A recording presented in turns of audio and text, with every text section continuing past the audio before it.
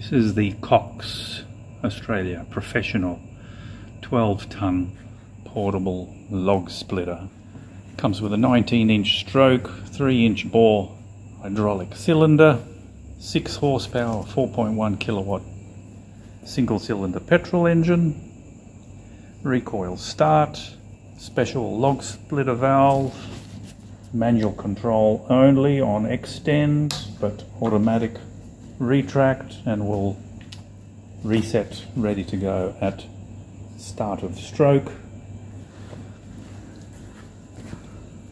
It's fitted with an optional quarter splitter which is removable. So this attachment will split logs into four. This attachment will split logs into two. And you've got side supports on the left and the right said, this extends out. Strong, sturdy frame, and the frame itself is actually the oil reservoir tank. It's fitted with a Bucher high quality gear pump. Uh, there's the suction line into the pump, pressure line out of the pump into the valve. When it's not being used, it goes straight through the valve and then back into the tank. Uh, the tank holds about 10 litres, 12. As I said, rated to 12 tonnes.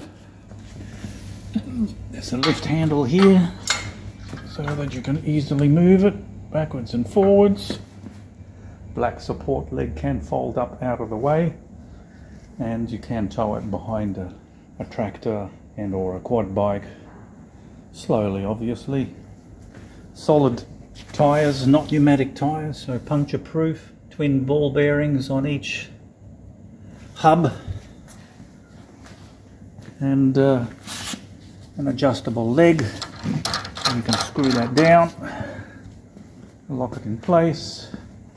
Access to engine oil on the left and the right. Takes about 0.6 litres of oil. 4 litre fuel tank washable air filter. Will take logs up to 20 inches long